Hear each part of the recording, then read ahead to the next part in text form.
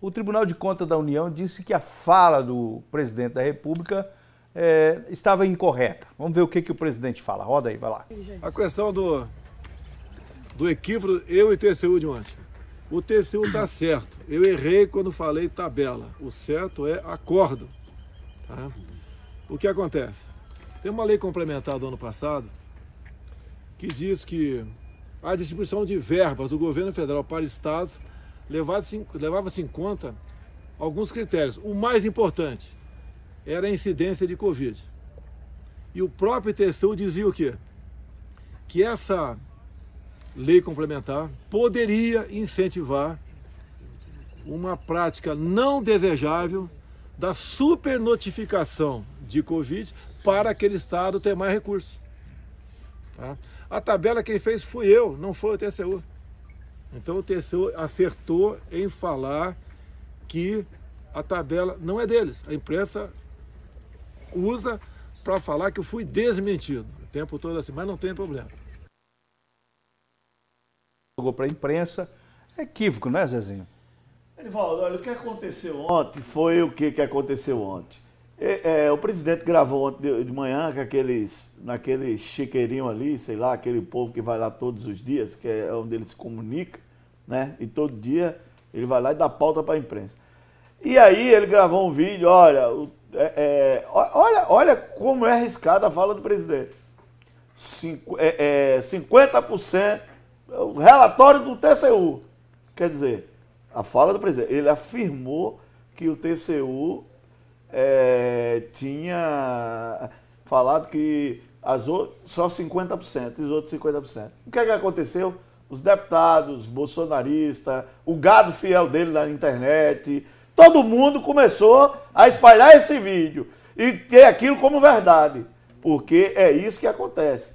É uma maneira que nós temos que ter cuidado, principalmente o presidente. Ele tem que ter cuidado com o que ele fala. Está aí agora, desmentido pelo TCU, Agora, bom que ele reconhece o erro, né? Isso é muito bom. A sequência o bispo vai falar, mas vamos ver o outro vídeo da sequência, número 2, é onde ele diz que as mortes sobem a cada ano e, segundo o presidente, ele afirma que isso eleva o índice de repasse aos estados. Roda aí, pode ir o, seu, o número 2. Se vocês olharem a tabela de mortes, tabela oficial de mortes, de 2015 para cá, ano após ano, sobe o número de mortes em relação ao ano anterior. 5%, 7%, 8%, 15%, varia por aí. Se você tirar o número de mortes por Covid o ano passado, são mais ou menos 200 mil, tá? É, de 2019 para 2020, não teríamos um crescimento no número de mortes. Teria um decréscimo, seria um crescimento negativo. Então, isso leva a um indício enorme no sentido de que houve sim supernotificação pela prática indesejável apontada por acordo do TCU que isso poderia acontecer para governadores conseguir mais recursos. Em cima disso, para justificar tudo por parte de alguns estados, com toda a certeza, os lockdowns, as polícias fechar tudo, as polícias toque de recolher, para justificar. Olha, meu estado está morrendo muita gente, então muita gente e, e são super notificados, eu tenho, eu tenho, que justificar em cima disso. O que, que a gente vai fazer agora? Estava conversando agora com o advogado Geraldo União, veio tomar café comigo aqui. Né? O que o governo pode fazer? Via Advocacia Geral da União, né? fazer uma investigação em cima disso. Agora, a CGU não, desculpa aqui. A Controladoria Geral da União fazer então um trabalho em cima disso aí. Agora, está mais do que. É um indício fortíssimo vocês devem ter visto muitos vídeos no WhatsApp de pessoas falando: meu pai, meu avô, meu tio, meu irmão não morreu de Covid. Também muitos vídeos no WhatsApp dizendo: olha, estão é, super valorizando o número de mortos para receber recursos. Falavam até em valores que se recebia por cada pessoa. Depois dessa fala do presidente, eu passo a acreditar que isso é verdade, bispo. Eu também. Eu acho que tem, tem a ver sim, né? É, as pessoas, é, qualquer coisa, colocavam lá Covid-19. E, e, você sabe, Edivaldo, infelizmente tem muita coisa debaixo desse tapete, né? A questão é, do custo que isso tinha, da patro, do patrocínio, né?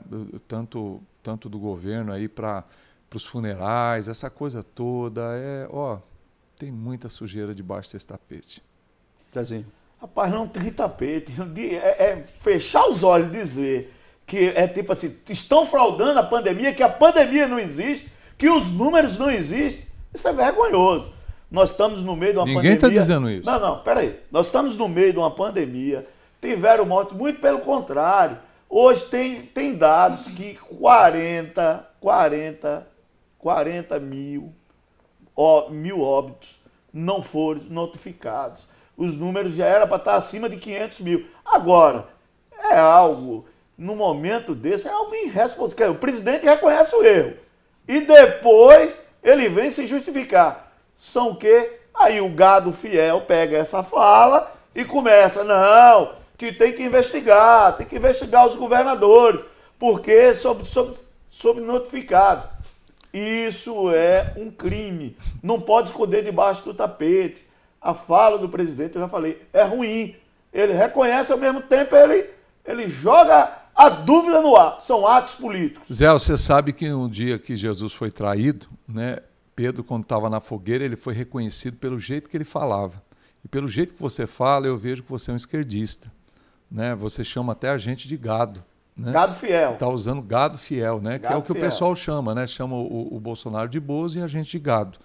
Todo mundo que não fala a língua deles, todo mundo que não concorda. Gente, tem filmes, tem, tem declarações de famílias que gritavam na beira do cemitério dizendo: meu filho não morreu de Covid, meu pai não morreu de Covid, minha mãe não morreu de Covid, meu irmão não morreu de Covid. O que, você vai fazer com esse grito? Vai dizer que é mentira?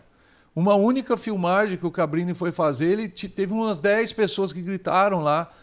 E isso foi porque ele estava só filmando aquele momento. Então você faz o cálculo de quantas pessoas foram de- é, é, é, diagnosticadas né, no, seu, no seu laudo lá é, é, do, do, do, do- do memorial fúnebre, tem outro nome, é o Laudo, é, a laudo- pandemia, laudo Edivaldo, fúnebre, dizendo lá. Certidão de óbito. Certidão de óbito, dizendo, dizendo: olha, é Covid e não é Covid. E muitos que vieram a falecer também, mas entraram com Covid no hospital.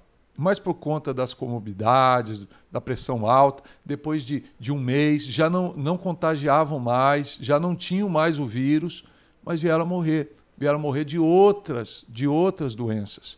E ninguém fala isso. Esse é o grande problema dessa nação, jogar sujeira debaixo do tapete. E quando eu falo que tem sujeira debaixo do tapete, eu estou falando a realidade. Tem muita gente levando dinheiro com isso, tem muita gente enricando com isso, tem muito desvio de verba em todos os segmentos. E tem muita gente interessada em que muita gente morra de Covid, porque Covid é um enterro rápido, ele cobra o mesmo valor e o enterro é rápido. Joga lá no, no, no saco, põe dentro do, do, do, do- da, da urna fúnebre e, e- e vai, e vai direto para o cemitério e joga lá no buraco, e ninguém pode fa- fazer nada. Essa é a grande realidade, meu amigo.